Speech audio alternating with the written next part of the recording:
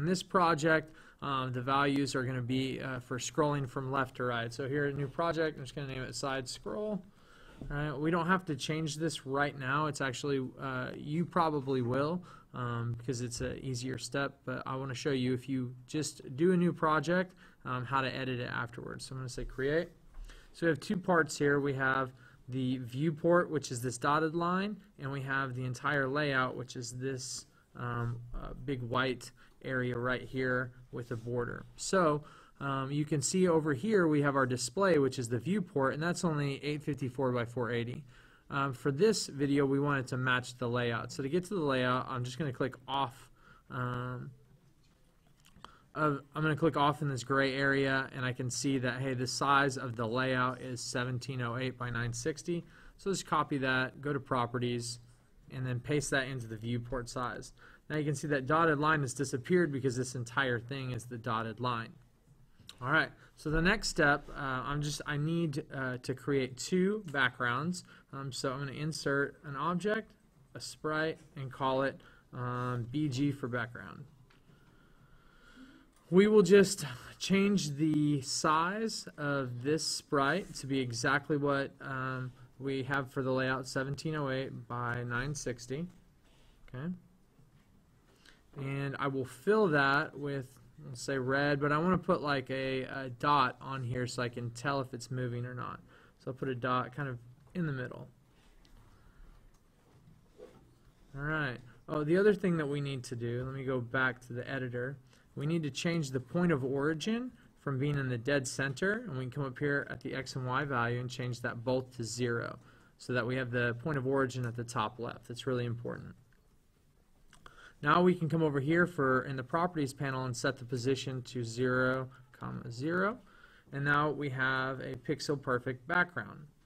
What I want to do is take a second background and I'll hold control and click and pull, uh, pull it out.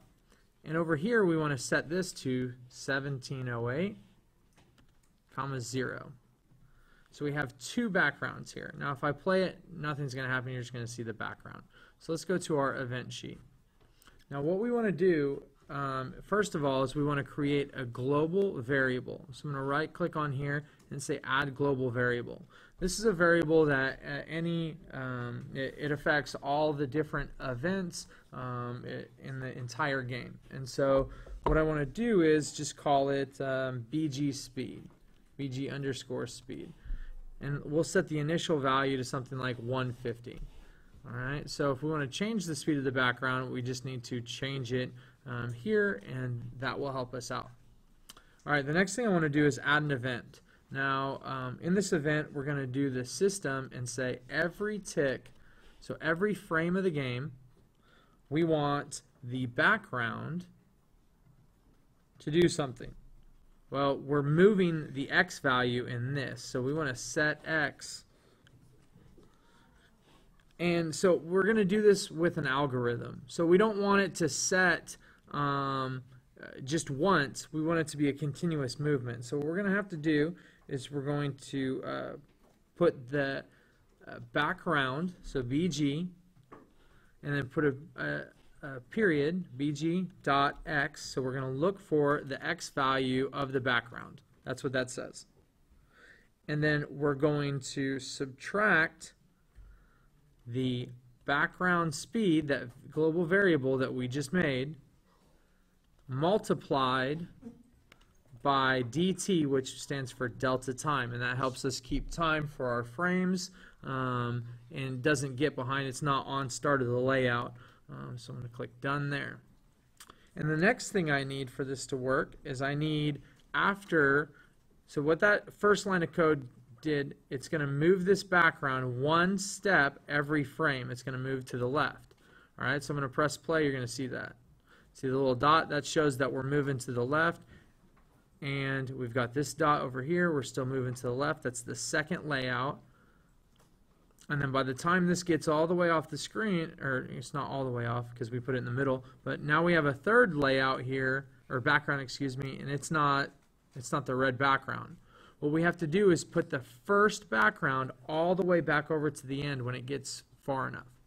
So to do that, in our event sheet, I'm going to add an event and I'm going to add an event for the background, and I'm going to say uh, compare the x value. So if the x value here is equal to or less, excuse me, uh, less than or equal to negative 1708. So once it fully gets all the way to the other side, because it's uh, 17, it's 1,708 pixels um, in length. Uh, once it gets to that spot, it's going to immediately set it back. So I've got this value here.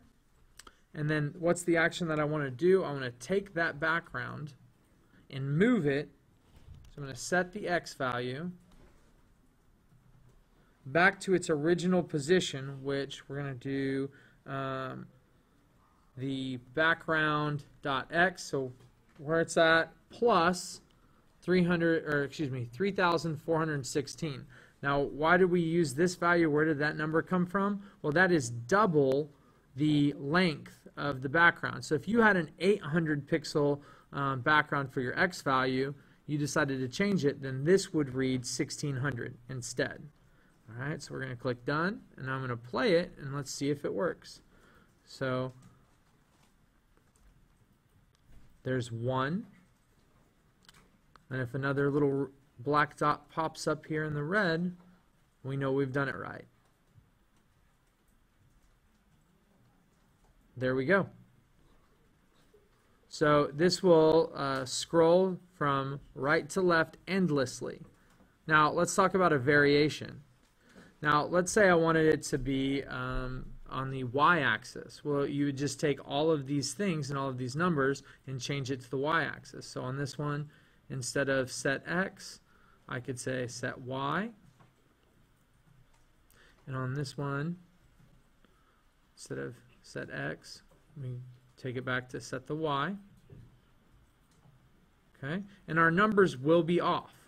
All right, so let's go back to the layout and get the numbers. If we wanted to go up and down, I would take and I would move this to where the uh, x position is 0 and the y position is 960. Okay, that's going to put it right underneath. So we're going to have it moving up. So then the next thing that we have to do uh, with this 960 value, you have to, I'm just going to copy this so that I can remember it, the 960, because that's our y value. So I go back to the event sheet and I change this from plus uh, 340, so we got 960, so that would be uh, 1920. So 1920 would be the double of that. And it wouldn't be background X, it would be background Y. And up here would also be background.y. All right, let's see if we did that correctly. When we have this dot moving up,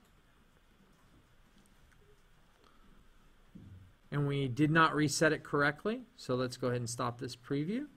All right, so we have to make sure that this is the y value, and we're looking at y if it is less than or equal to negative 960. So once that uh, background uh, goes far enough to where it's completely out of the viewport, uh, it will reset. So we're going to add um, 1,920, and the reason for that is it's double this value, right? So 1920 is double 960. Everything matches y, y, y, y, and y. So let's look at the preview. So you see that first dot already went off the screen. Here's our second dot traveling off the screen, third dot, and so this will continue on into infinity. Now if you want to reverse the direction, however your art is, you would just change these values here um, from, you know, if it was a negative, you change it to a positive, um, and if we uh, added on this algorithm, you would subtract. Uh, so that's all for this video.